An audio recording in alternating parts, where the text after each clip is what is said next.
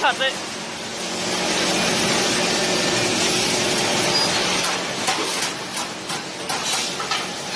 Đấy đây thợ hàn. Thợ hàn, duy khánh. Với kinh nghiệm là hơn một năm trong nghề. Hàn đông cứt rồi.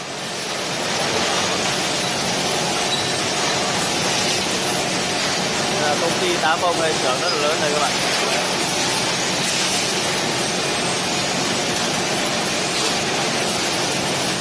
Độc sắt là sắt thôi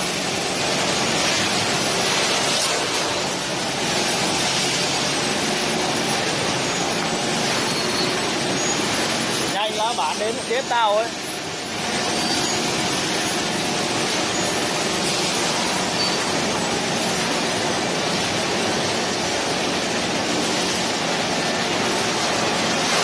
Giờ này lá bạn hay đến đó